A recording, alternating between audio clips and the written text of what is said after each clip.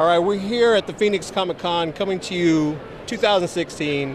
Hot as hell. Chris Gore. How did you how did you end up here in this heat, in this desert heat? Uh, well, I drove in my car here in the heat, and uh, I don't know. I just I love Phoenix Comic Con. This is worth driving out to uh, for me because it's just one of those legit cons that attracts like it, it has the feel of like a really small comic book convention, but it attracts like major talent to the con. So, and also some of the most enthusiastic, nerdy crowds. I mean, Thursday sold out. I've never heard of a Thursday at a con selling out other than San Diego Comic Con. So, Phoenix Comic Con has to be the biggest con in, in the Southwest. I mean, it's huge. So, last night you did a panel, gave out some DVDs. What was your take on the whole thing? Well, I was trying to like like you know every time when I go to these cons because I've been coming to cons for years, right? So I've been coming to cons since I was a little kid, right? When there wasn't a Comic Con, there there were like uh, you'd go to the Detroit Auto Show, which is where I grew up in Detroit, and they'd have like uh, here's the Detroit Auto Show, and then there's a room where we sell comic books where they would you drop off the kids like nerdy kids like me. But now Comic Cons have become like a big event. It's huge. So my whole take on it is everybody wants to know like what I think about certain movie stuff, and I enjoy having a conversation with an audience. So the way I did the panel was just come up and ask me any question about. It was like basically a live ask me anything, right? And then every person who asked a question got a free DVD. I'm not going to say it was a good DVD, and I'm not sure I can repeat the name of the DVD that was given away. We, we can say it here. It was, Dickshark, but what I'm saying is uh, it, it, uh, it, it's basically just an excuse to have a conversation with like-minded people about movies and nerd out about like movies you might have seen, opinions that might change your mind about something, or movies that you should know about that you'd never heard of. DC or Marvel? Okay, uh, when it comes to comics, DC. When it comes to movies, Marvel. Tricked you there. Oh, that is good. I like that one. All right, one more Star Trek or Star Wars? Trek Wars. you're killing oh, me. man. You're okay, killing me. Okay.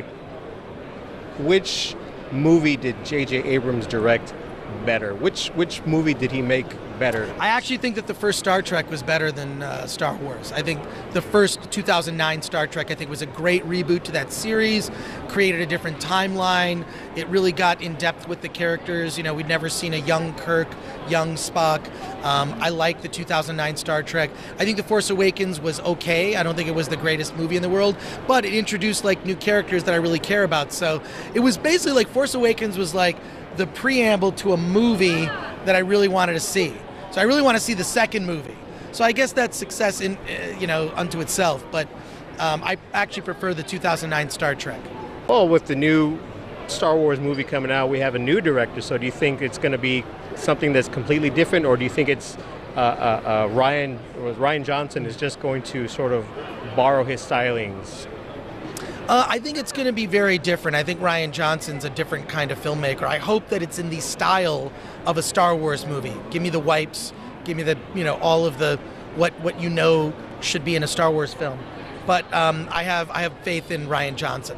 Well, here's the deal. Like, I mean, JJ had a lot to do with Episode Seven. He had to bring back the old fans. He had it's sort of a, a, a sequel and a reboot, right? Because he's bringing in all these new characters, but honoring the old characters, but then telling a new story. So I think that the thing about Force Awakens is the story isn't the important part. What the important part is the characters. And I think that on that level, I think he really succeeded. But uh, I hope we never see another Death Star again. I think should we can we be done with Death Stars? We've had three yeah. so far. It's not exciting anymore. It's not exciting. We know they're going to blow it up. Give it up. And can we get rid of going to desert planets? Yeah, I mean, I, well, this is the thing I'm worried about because I've been seeing some stuff online about Episode Eight, and I just think how many planets in the Star Wars universe are planets with green trees and forests. Everything's got a for like what I loved about what Lucas did was every planet had a different landscape. There was volcanic, there was you know, lush. There was lush. There was ice. Like I, I, I, let's see some originality with the planet design and the settings. I think that's just as important because at its heart, Star Wars, I think, is also a Western. um, more than anything. It's a western and a part a serial. It's it's really just sort of a bunch of stuff in the And that's, and that's really blender. what Lucas based them on was the old uh, the old sci-fi serials. serials. Flash Gordon serials. He Yeah. wanted to make Flash Gordon and he couldn't He make borrowed it. a little bit of, uh, of uh, Asian culture with uh, Right. the, the fort, no Hidden Fortress. Hidden Fortress, right? And uh, that I mean very very loosely, but um, yeah yeah it's he's really good at blending all those things, and I think.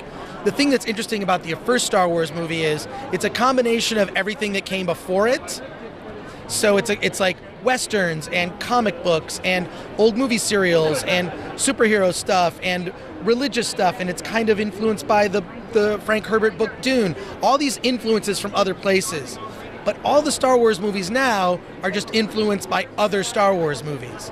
So I hope that works. It could be a little thin. I don't know.